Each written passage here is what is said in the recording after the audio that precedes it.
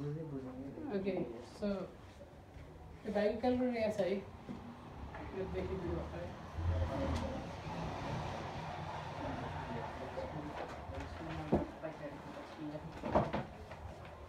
आज हामी म्याथमा एटलिस्ट पचास मार्क्स सजिलो क्वेसन्सहरू गरेर कसरी ल्याउन सक्छौँ भन्ने कुरा सिक्छौँ है। सो सबै टोटल आठजनालाई नै एकदमै भ्यालुएबल क्वेसन्सहरू हुन्छ। इक्जाममा यस्तै क्वेसन्सहरू बिस्तारै गरिदिन आँटियो है आउँदाखेरि हुन्छ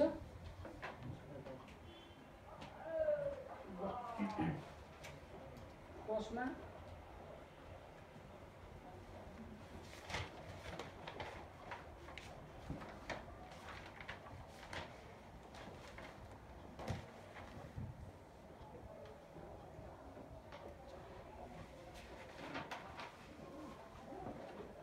मेडियन चाहिँ नाइन्टिन दिएको छ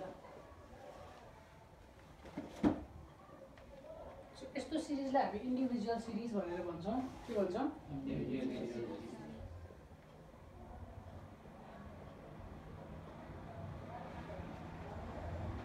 अब डेटा भन्छ हामीले एसेन्डिङ अर्डरमा छ।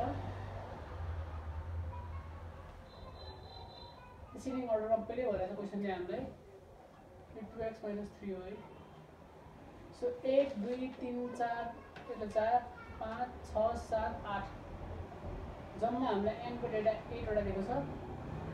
सो मेडियन क्लास भनेको चाहिँ n plus one by two यसरी लेख्छौँ हामीले।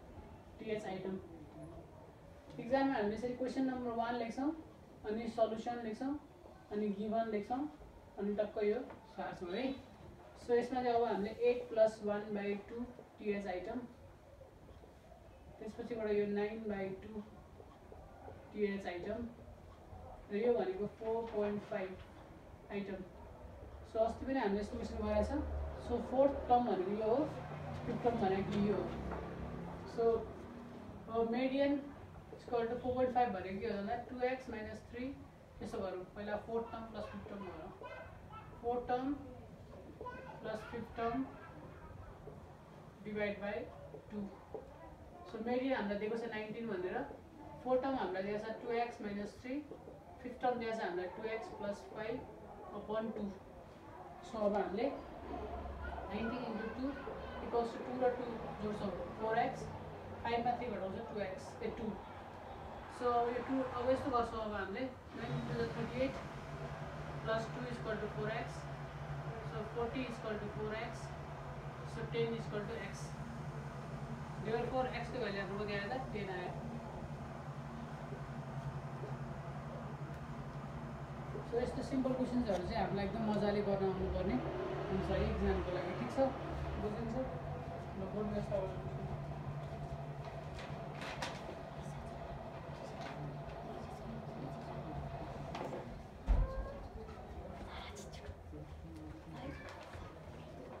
तपाईँले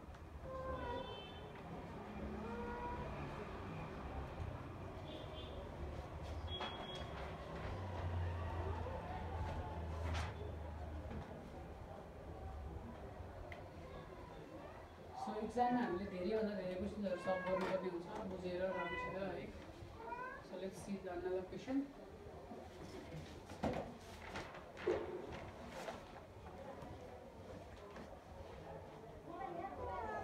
so हामीलाई यहाँ semi circle PQR Q is centre at centre at O भनेर छ। सो सबभन्दा फर्स्टमा हामीलाई फिगर दिएको छैन त्यही भएर फिगर बनाउनुपर्छ यो सेमी सर्कल हो। सेन्टर चाहिँ ओमा छ अरे।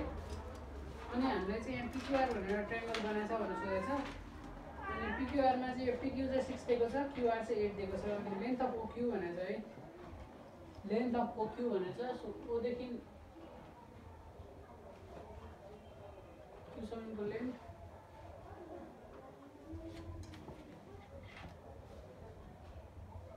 अनि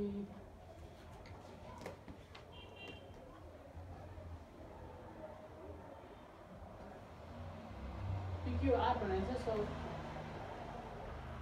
पिक्युआर भनेको सक्छौँ सो हामीलाई यो ओक्युको लेन्थ निकाल्नु छ। सो यस्तै ट्राइङ्गलमा चाहिँ जहिले पनि यो नाइन्टी हुन्छ त्यो कुरा चाहिँ हामीले विचार गर्नुपर्ने हुन्छ होइन? अब हामीलाई ओक्यु निकाल्नु भनेको छ हामीलाई पिक्यू दिएको छ पिक्यू चाहिँ दिएको छ सिक्स सेन्टिमिटर क्युआर चाहिँ दिएको छ एट सेन्टिमिटर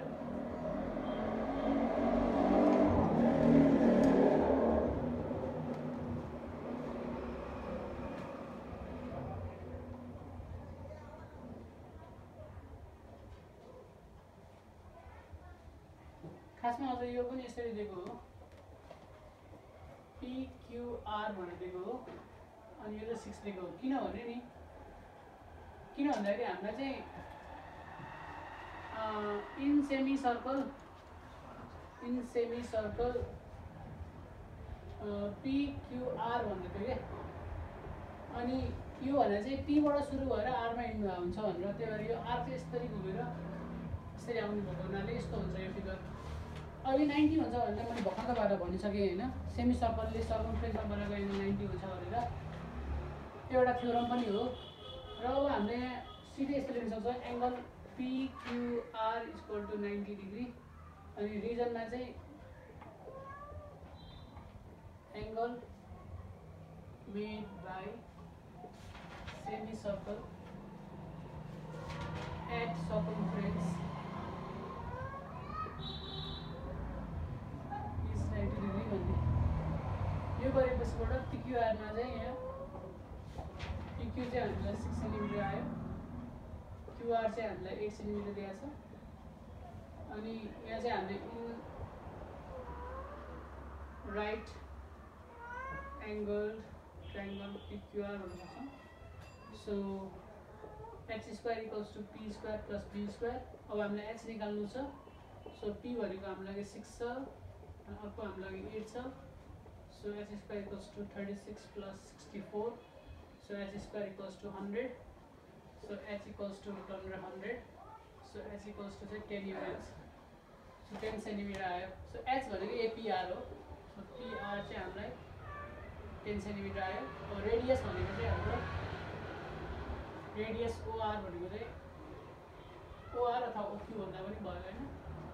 सो ओक्यू भनेर चाहिँ हाम्रो के आयो भन्दाखेरि डायमिटरको हाफ यो डायमिटर हो नि त यो के हो?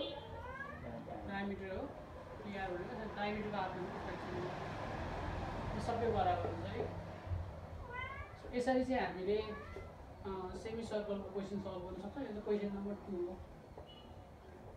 यसमा सल्युसन गिभन भनेर तपाईँले इन्डिकेट गर्न सक्नुहुन्छ। ठिक छ? बुझिन्छ?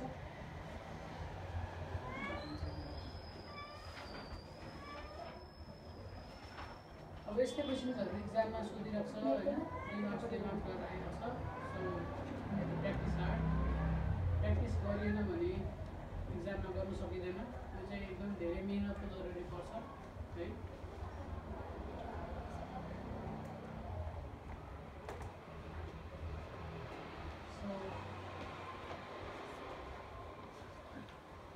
अब हामीले अर्को क्वेसन दिएको छ एउटा। यो चाहिँ त्यो पनि सार्नु छ है। किनकि अस्मित भाइले पनि कपी गर्नुहोस् है। यो क्वेसनमा चाहिँ के छ भन्दाखेरि यो x x to power eight छ होइन।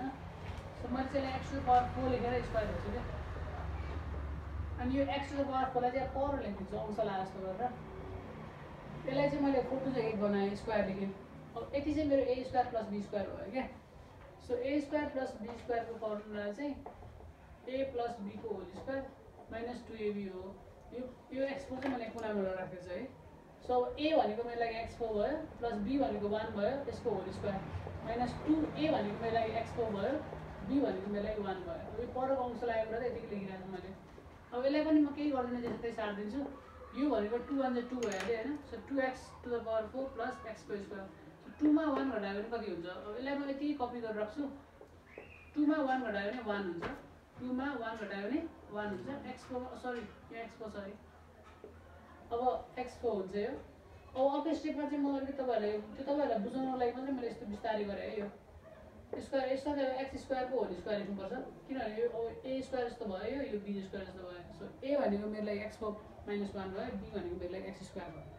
सो मैले अब ए सरी ए प्लस अब यसलाई एरेन्ज गर्नुपर्छ। So x four plus x square minus one x four minus x square minus one so यसरी चाहिँ हामीले टु मार्क्सको लागि सिम्पल फ्याक्टराइजेसन सिम्प्लिफिकेसन भन्न सक्छौँ क्वेसन नम्बर थ्रीको सल्युसन हो हो प्लस हुन्छ होइन दाइ। कहाँनिर बाबु एक्स फोर प्लस वानको होल स्क्वायर त्यो। कहाँ कहाँ बाबु ए यहाँ। ए अँ यहाँ प्लस नै हुन्छ सरी भन्दा। त्यो चाहिँ फर्मुलाको प्लस हो है। मैले माइनर मिस्टेक गरेछु है। ठिक छ ल बुझिन्छ यहाँ प्लसै लेख्नु केही फरक पर्दैन a plus b square minus two ab गरेर है so this is about it यो एकदमै इम्पोर्टेन्ट क्वेसन हो होइन इक्जाममा आएपछि नआत्तिकन यो स्टेप मैले भनेको स्टेप अनि यहाँ आएपछि हामीले एउटा फर्मुला यो स्टेपमा मैले यो फर्मुला युज गरेको छु र यो स्टेपमा चाहिँ मैले ए स्क्वायर माइनस बी स्क्वायरको फर्मुला युज गरेको छु a plus b by minus b यति मात्रै गरेपछि हाम्रो क्वेसन मिल्छ भने हामीले किन मिहिनेत नगर्ने होइन so this is about another solution है बुझिन्छ तपाईँलाई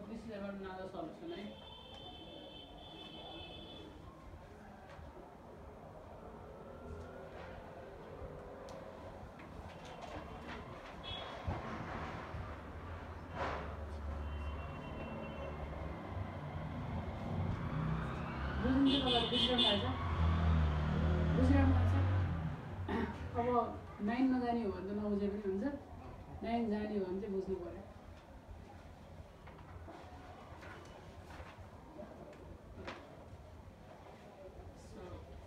क्वेसन नम्बर थ्री हाम्रो सकिसकेको छ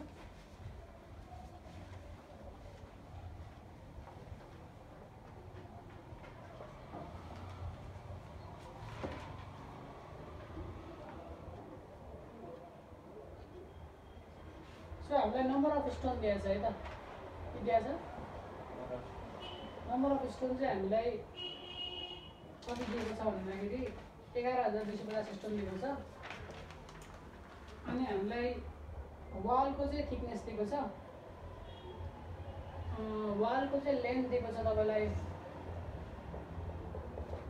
लेन्थ ब्रेथ र हाइट। सो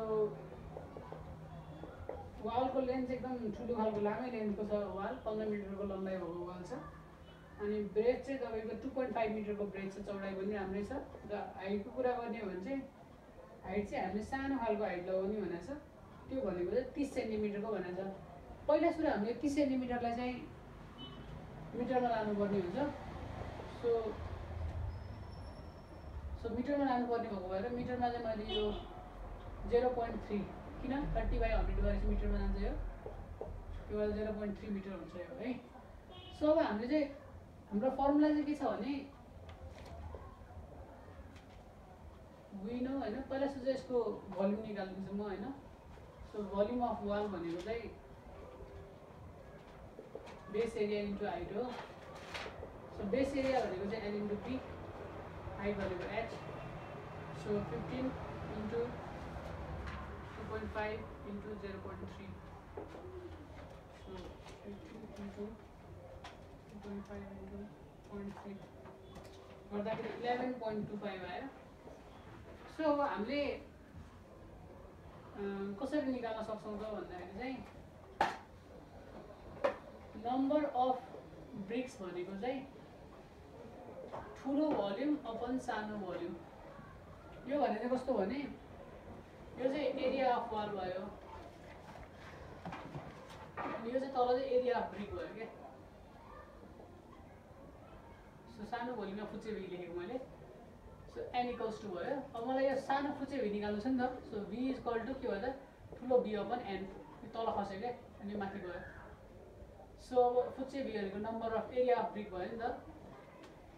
सो भी भनेको चाहिँ भी वान चाहिँ हाम्रो कति आयो त? इलेभेन पोइन्ट टू फाइभ आयो। नम्बर चाहिँ हाम्रो कति आएको छ त? एघार हजार दुई सय पचास so volume of a brick चाहिँ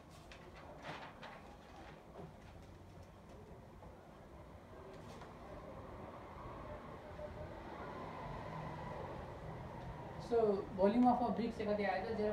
one metre cube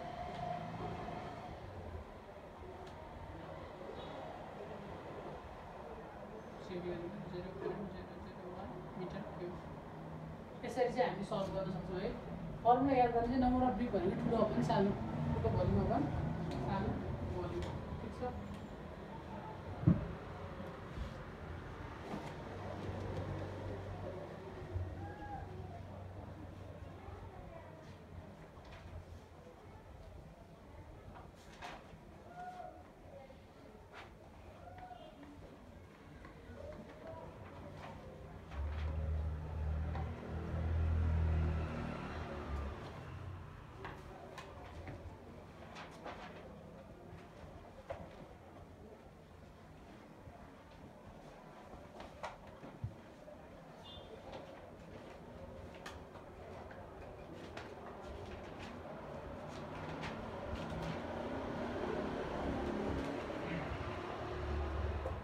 अर्को एउटा क्वेसन छ क्वेसन नै छ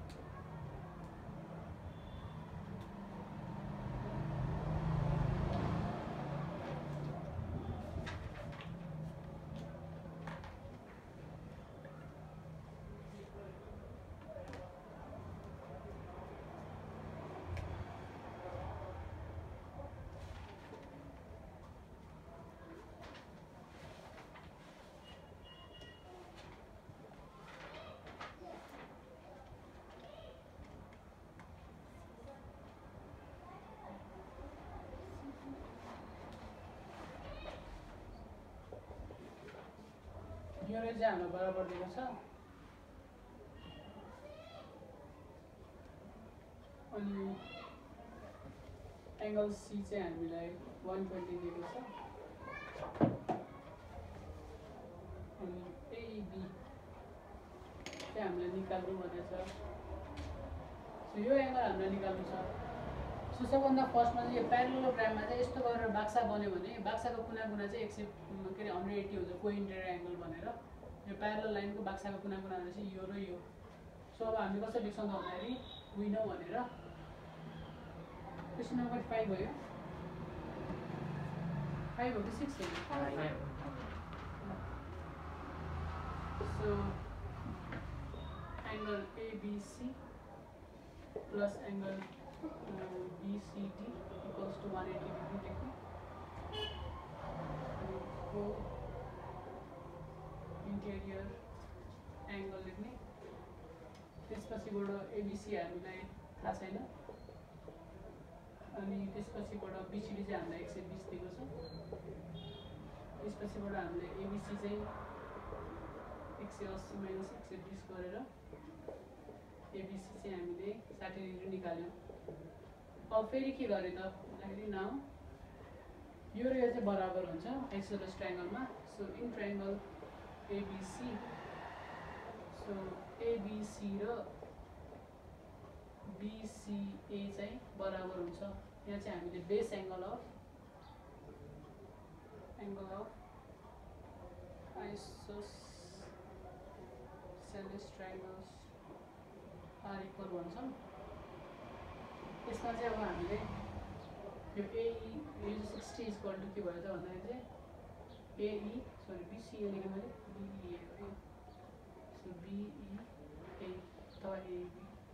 यसरी चाहिँ हामी सल्भ गर्न सक्छौँ so I guess you have understood this as well